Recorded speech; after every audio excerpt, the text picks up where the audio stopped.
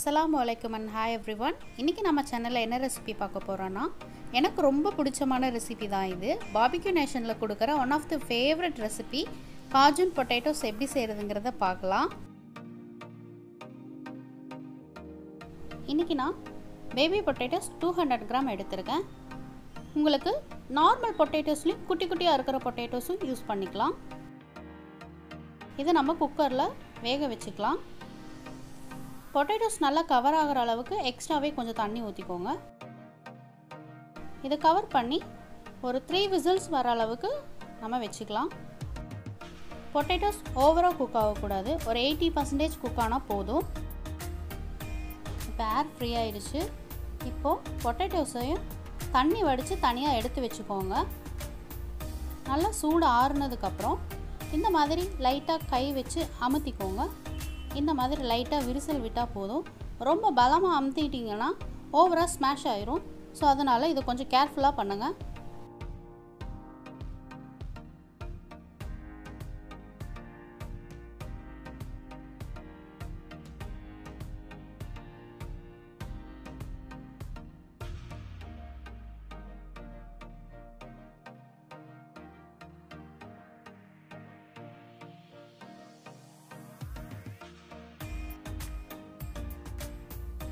இதே மாதிரி எல்லா பொட்டேட்டோஸையும் இந்த மாதிரி ப்ரெஸ் பண்ணிக்கலாம்.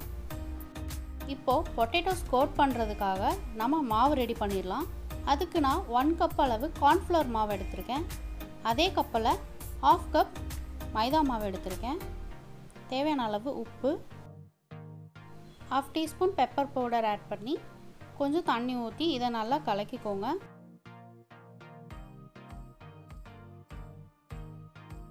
கொஞ்சம் கொஞ்சமாக தண்ணி ஆட் பண்ணிக்கோங்க. ஒரே தடவை ஆட் பண்ணிட்டீங்கன்னா ரொம்ப தண்ணி ஆயிரும் இது தோசை மாவு பதத்துக்கு நல்லா கலக்கி வச்சுக்கோங்க. பாருங்கள் இந்த மாதிரி இருக்கணும். இப்போது நம்ம ரெடி பண்ணி வச்சுருக்க பொட்டேட்டோஸை அதில் நல்லா டிப் பண்ணி ஒரு பேனில் ஃப்ரை பண்ணி எடுத்துக்கோங்க. நல்லா கிறிஸ்பியாக ஆகிற வரைக்கும் ஃப்ரை பண்ணி எடுத்துக்கலாம்.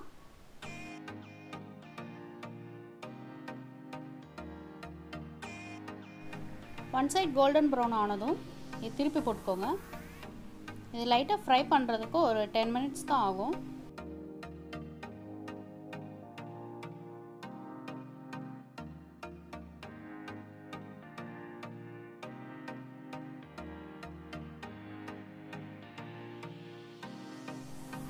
இப்போ நல்லா ஃப்ரை ஆயிடுச்சு இதை நம்ம எடுத்துடலாம்.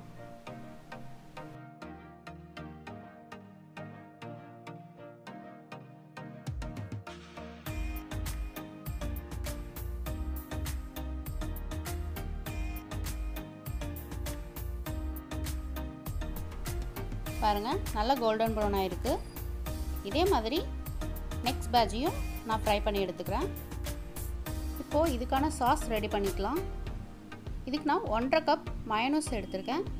மயனூஸ் எப்படி வீட்டிலே செய்கிறதுங்கிறத தந்தூரி சிக்கன் வீடியோவில் நான் அப்லோட் பண்ணியிருக்கேன். டிஸ்கிரிப்ஷனில் கொடுக்குற நீங்கள் போய் செக் பண்ணிக்கோங்க. இப்போது one teaspoon chilli flakes one teaspoon oregano two teaspoon garlic powder இங்கே கார்லிக் பவுடர் இல்லைன்னா garlic paste one teaspoon use பண்ணிக்கலாம். Half teaspoon pepper powder two teaspoon Kashmiri red chilli powder half teaspoon red chilli sauce இது optional தான். உங்கள்கிட்ட இருக்குன்னா add பண்ணிக்கோங்க. இல்லைன்னா skip பண்ணிக்கோங்க. தேவையான அளவு உப்பு. இதை நல்லா மிக்ஸ் பண்ணிக்கோங்க.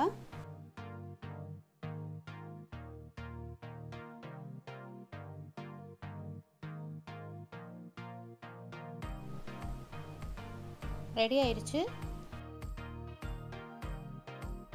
இப்போது இது ரொம்ப கெட்டியாக இருக்கனால நான் ஒரு கால் கப் அளவு மில்க் ஆட் பண்ணி நல்லா மிக்ஸ் பண்ணி விட்டுக்கிறேன்.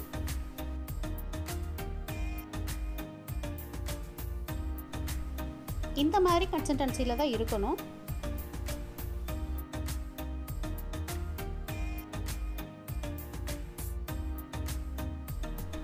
நம்ம இப்போது சர்வ் பண்ணிடலாம். நம்ம ஃப்ரை பண்ணி வச்சுருக்க பொட்டேட்டோஸை இந்த மாதிரி பிளேட்டில் வச்சுக்கோங்க.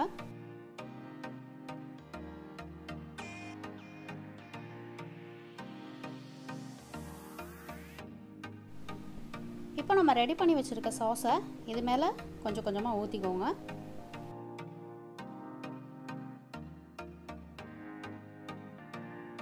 மேலே லைட்டாக கார்னிஷ்காக நான் காஷ்மீரி மிளகாய் தூள் லைட்டாக தூவி விடுறேன். கொஞ்சம் மல்லித்தலையும் கார்னிஷ் பண்ணிக்கோங்க.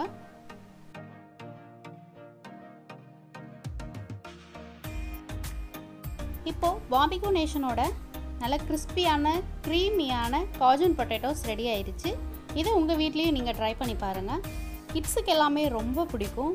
இந்த ஒன் டைம் செஞ்சு கொடுத்தா மறுபடியும் மறுபடியும் செஞ்சு கேட்பாங்க வீட்டில் இது வரைக்கும் என்னோட சேனலுக்கு நீங்கள் சப்ஸ்கிரைப் பண்ணலைன்னா மறக்காமல் சப்ஸ்கிரைப் பண்ணிடுங்க. பக்கத்தில் இருக்க பெல் ஐக்கானை கிளிக் பண்ணிடுங்க. மீண்டும் இதே மாதிரி ஒரு டிஃப்ரெண்ட்டான ரெசிபியில் உங்களை மீட் பண்ணுறேன் தேங்க்யூ